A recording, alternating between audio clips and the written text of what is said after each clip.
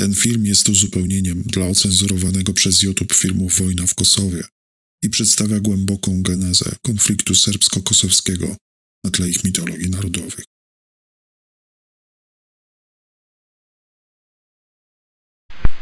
Zvanična srpska istorija, vođena instrukcijama sa zapada, plasira učenje po već ustaljenom ključu, u kome Srbi nemaju ništa srpsko. Naravno, to rade subtilnim i perfidnim metodama. Każdy naród ma swoją legendę. Każdy ma swoje świętości. U Serbów takim właśnie miejscem jest Kosowo.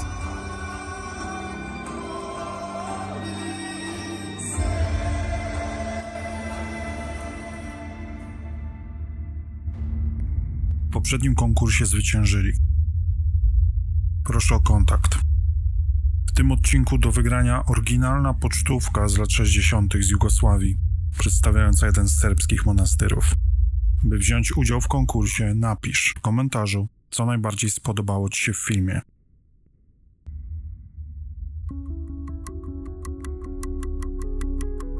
Serbowie mówią, że Kosowo jest kolebką ich cywilizacji, ich Jerozolimą. Jednak nie są jedyni. Var det slavism i natura? To obiektywy to kultit. Albańczycy twierdzą, że byli w Kosowie pierwsi. Twierdzą, że wywodzą się z plemion, które zamieszkiwały ten region jeszcze przed Rzymianami. Serbowie, jako Słowianie, migrowali tu dopiero w VI wieku. Najechali ich ziemię. Dajmy się wypowiedzieć Serbom. Oni kažu da iz mišljenja tradicije da smo mi autohtoni na Balkanu, naše autore koji su tvrdili da smo mi Iliri, da su južni Sloveni. Rdzeń mitologii serbskiej jest następujący. W czasie bitwy na polu kosowskim w 1389 roku Serbowie stanowili większość w regionie, który był sercem ich królestwa. Bitwa na kosowym polu była centralnym punktem ich historii. Albańczycy natomiast weszli na to terytorium dopiero po bitwie i to daje Serbom prawo do Kosowa. Aby zrozumieć ten tok myślenia, najpierw musimy pojąć, dlaczego Serbowie mówią, że Kosovo jest kolebką ich cywilizacji, ich Jerozolimą. Nikada neću prihvatiti da Kosovo bude. Posłuchajmy serbskiej piosenki.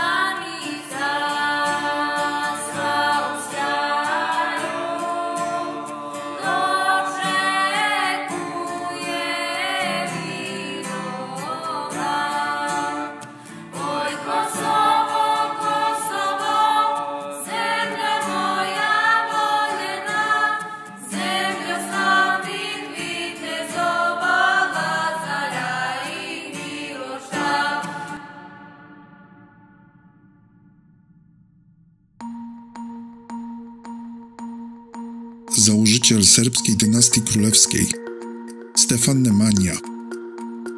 Do czasu swojej abdykacji w 1196 roku rządził większością terenów dzisiejszej Czarnogóry, Hercegowiny i środkowej Serbii. Zdobył też mieczem Kosowa. W ten sposób stworzył państwo, w skład którego wchodziła większość ziem stanowiących dziś terytoria Serbii i Czarnogóry. Jednak poszedł o krok dalej. Stworzył też religijną tożsamość Serbii. Zapewnił serbskiej cerkwi autokefalię. Stał się założycielem serbskiej cerkwi prawosławnej, która finalnie swoje centrum religijne ulokowała w Peczu. Kosowie.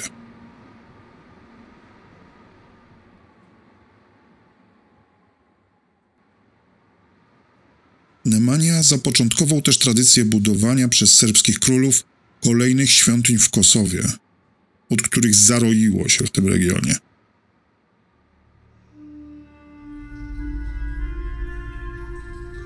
W XIII wieku feudalne państwo Nemaniciów, dzięki bogactwu mineralnemu ich ziem, rozrastało się i umacniało. W niedzielę wielkanocną 1346 roku car Dusan koronował się w Skopie na cesarza Serbów i Greków. Następnie rozszerzył carstwo. Jego siły zagroziły samemu Konstantynopolowi. Jednak kiedy zmarł, imperium zaczęło się rozpadać, a śmiertelnym zagrożeniem stała się ekspansja Turków osmańskich.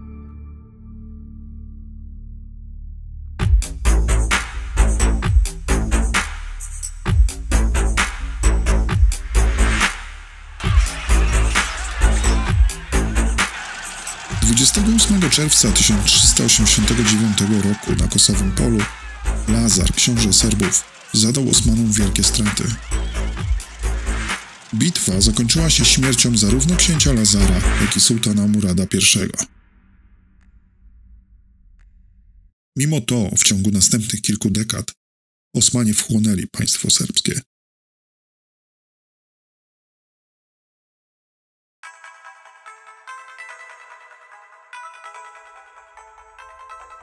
Bitwa została stoczona na polu kosowskim około 5 km na północny zachód od współczesnego miasta Prisztina. Przez wieki pamięć o bitwie zaczęła czynić Kosowo częścią serbskiej narracji narodowej. Zaczęła kształtować ich naród. Nemanicie zbudowali państwo na dwóch filarach. Na filarze swojej potęgi i na filarze kościoła. Kiedy potęgę zmietli Osmanie, kościół nadal istniał i podtrzymywał tradycję bitwy, a z Kosowa zaczął czynić mistyczną przestrzeń. Bog je večan, istina je večna, ikone su večne.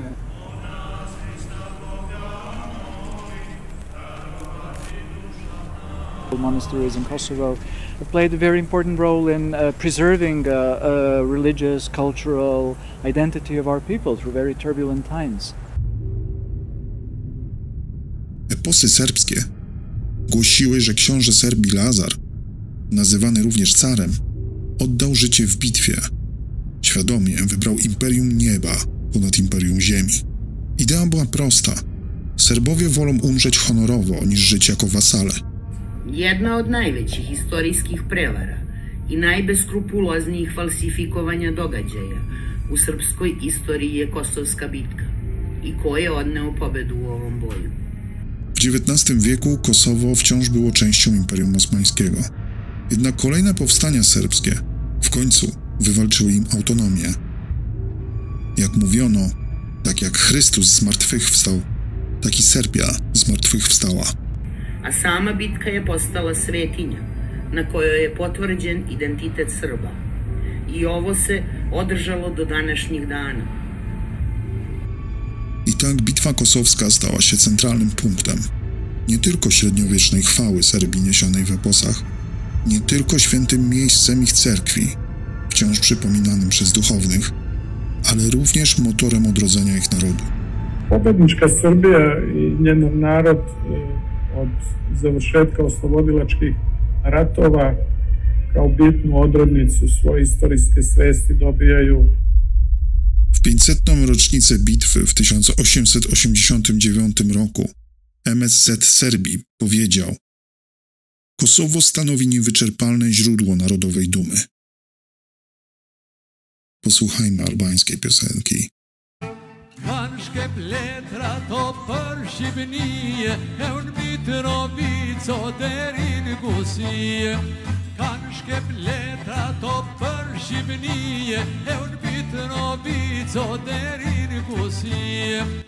Wersja albańska rysuje się następująco. Kosowo jest miejscem narodzin albańskiego ruchu nacjonalistycznego, a tym samym miejscem narodzin świadomości narodowej Albańczyków.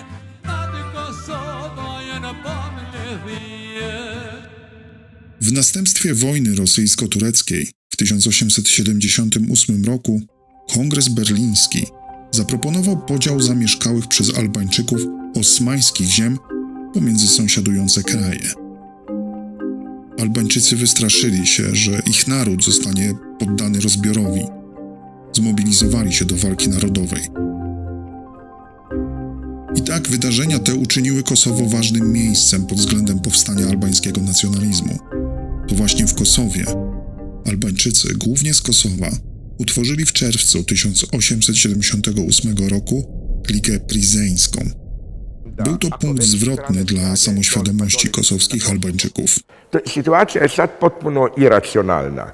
Imamo dvije albanske države, Albaniju i Kosovo, obje formalno su puno autonomne, a ako zatražiš najprirodniju stvar, da se udruže, to jest zabranjena tema.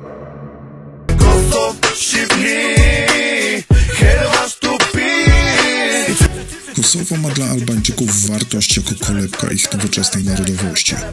To tu powstała Liga Prizeńska, która chciała niezależności od Osmanów. Liga została zmiażdżona przez samych Turków, a późniejsze zajęcie Kosowa przez Serbów, Czarnogórzan czy Greków Albańczycy postrzegają jako okupację. Tak jak Lazar i Nemanici stanowią historyczną bazę dla historii Serbii, tak starodawni Ilyrowie stali się tym samym dla Albańczyków. Sa për shqiptarët e mi, ti nuk i nje ata. Ne jemi e që u dhanë për armikë romakëve, Piron dhe të Maqedonasve që i dhanë Indis si fitimtar Aleksandrin. Jak mówią, po pierwsze, według nich Albańczycy są potomkami starożytnych Ilyrów, co czyni ich pierwszą ludnością uprawnioną do Kosowa i poprzedza przybycie Słowian, przodków Serbów.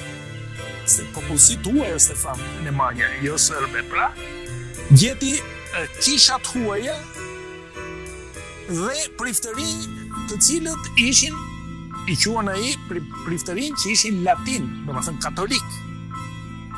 E, këtu u zbatua një politikë si në një tokë të pushtuar, a, jemi në fund të shekullit 12, fillimi i shekullit 13, Dajmy się wypowiedzieć Serbom. Par contre, les Albanais de l'UCK sont en train de réaliser le rêve de la Grande Albanie.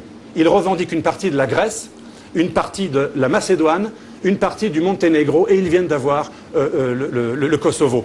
Vous dénoncez Kosowski albański nacjonalizm został zdefiniowany poprzez jego starcie z serbskim nacjonalizmem. Dajmy się wypowiedzieć Albańcom. Projektet e kurti që i përkisnin autoktonëve shqiptarë. Sigurisht, nuk kemi të bëjmë me diçka të izoluar. Siç e thamë edhe parë, ky ishte një projekt. Një projekt që u shtrit gjithku në Kosovë. Dajmy się wypowiedzieć Serbom. Zato, evo, na primjer, Srbi su autohtoni u Srbiji, jer su ne bili prvi stanovnici Srbije da niko nije bio prije njih, ni Ameba. Ne da se nikad nisu selili, već su povod više milenijskog razvoja na ovom tlu. Da li je to tako teško shvatiti? Oba narody postrzegają Kosowo jako miejsce narodzin ich kulturowych i narodowych tożsamości. Najmocniejszym argumentem Albańczyków jest skład etniczny Kosowa. Są tam zdecydowaną większością. I Južnih Slovena, kažu, ma kakvi, to nema veze.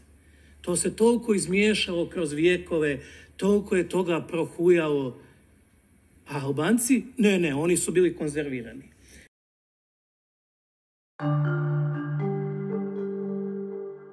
Wielowiekowe panowanie Osmanów doprowadziło do zmiany w składzie etnicznym Kosowa. Przez wieki Serbowie byli w ciągłym ruchu. Kiedy Osmanie przybyli do Kosowa w XIV wieku, rzeczywiście większość ludności stanowili Serbowie. Jednak w ciągu kolejnych stuleci miały nastąpić wielkie eksodusy Serbów.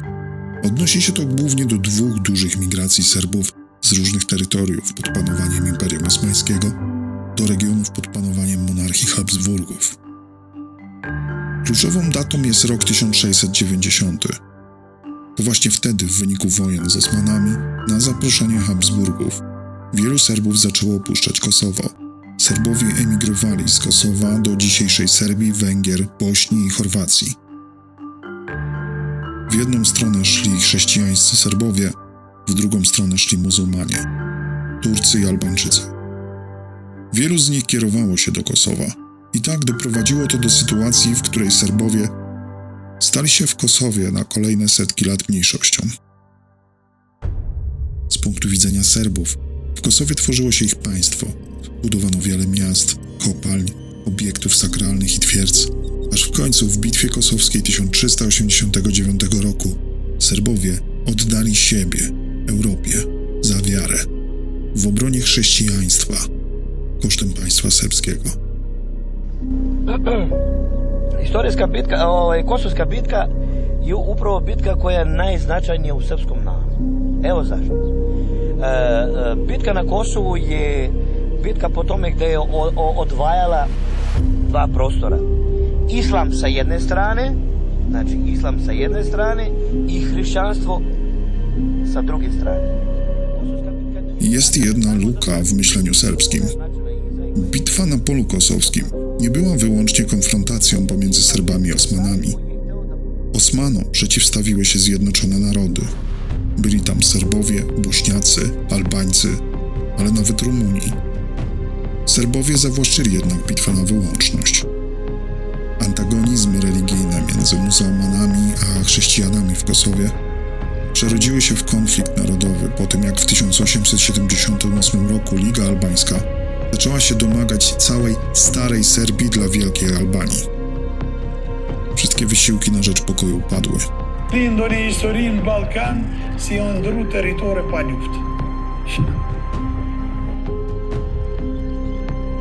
Dopiero pierwsza wojna bałkańska przyniosła rozstrzygnięcia. W Serbii stała się ona najpopularniejszą wojną w historii, bo zwycięstwo nad Osmanami postrzegano jako pomszczenie bitwy na Kosowym Polu. Osmańskie panowanie zakończyło się tam w 1912 roku i w wyniku wojen bałkańskich Kosowo stało się częścią Serbii. Niestety, siły serbskie w Kosowie zaangażowały się w zabójstwa, zaczęły zmuszać Albańczyków do wyjazdów. Zaczęli realizować cele, które polegały na asymilacji niektórych i usunięciu większości Albańczyków poprzez zastąpienie ich serbskimi osadnikami. Serbowie postrzegali nacjonalizm albański jako wynik intryg. Šta to znači? To znači da e, Osmanska imperija i Velika Britanija žele da razbude albanski fanatizam i da ga upotrebe kako bi suzbijali ruski uticaj na Balkanu, a prevashodno protiv ruskih saveznika u tom trenutku, to su Srbija i Crna Gora, i njihovih aspiracija prema tom prostoru. Nel 1912 le guerre balcaniche danno il colpo di grazia all'impero ottomano anche nei Balcani. I serbi, i greci e i montenegrini avanzano ad occupare i territori abitati dagli albanesi. Contro le nuove invasioni, il 28 novembre 1912, un gruppo di patrioti albanesi dichiara l'indipendenza dell'Albania dall'impero ottomano. In rosso sono segnate le aree abitate dagli albanesi. Dapprima riconosciuto dalle grandi potenze, il nuovo Stato albanese sarà ridimensionato nel 1913 nella conferenza degli ambasciatori di Londra, che stabilisce i confini. I territori abitati dagli albanesi in Kosova vanno alla Serbia, mentre al sud la Grecia ingloba la Ciameria.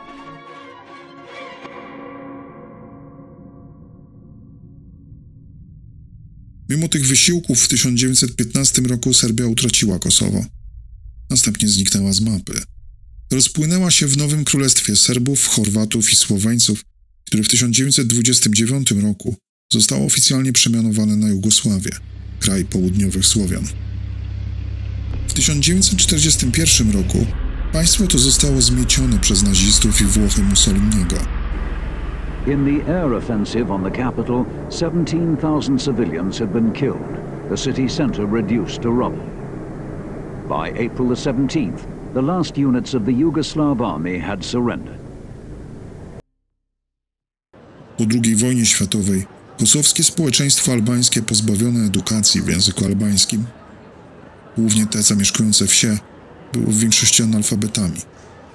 Dopiero w latach 70. wraz z odrodzeniem kultury albańskiej nastąpił wzrost nacjonalizmu albańskiego w Kosowie. Jednak o tym w głównym filmie Wojna w Kosowie. Dajmy się wypowiedzieć Albańcom. Ne jemi kanë gjithmonë të rëmnu, populli shqiptar gjithmonë ka qenë i okupatorëve. Rasti i Kosovës nuk mund të krahasohet sepse ne jemi krejt një nacionalitet tjetër prej shteteve që na kanë okupu neve. Edhe ne kemi me drejt me u pavarësu.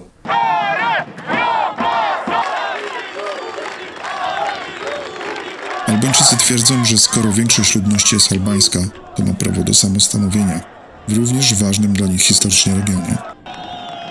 Według różnych danych Albańczyków w Kosowie jest od 90 do nawet 95%.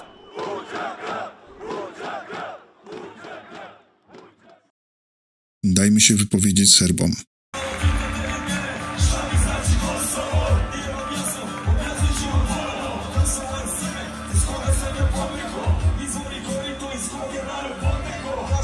Serbowie twierdzą, że Kosowo powinno pozostać w Serbii, ponieważ prawnie jest częścią państwa serbskiego i historycznie jest serbskie. Serbowie uważają, że dla Albańczyków jest to tylko terytorium, na którym stanowią większość i nie jest dla nich wystarczająco ważne historycznie, by się go domagali. Tu sam da kažem da mi Srbi nikada nećemo priznati nezavisnost Kosova. Kosovo nikad nije bilo deo Albanije. Kosovo je bilo pod osmanskom okupacijom. Albanci su okupatori na Kosovu.